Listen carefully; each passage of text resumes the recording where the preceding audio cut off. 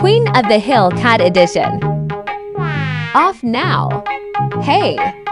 How I'm queen of this hill. I'll be back.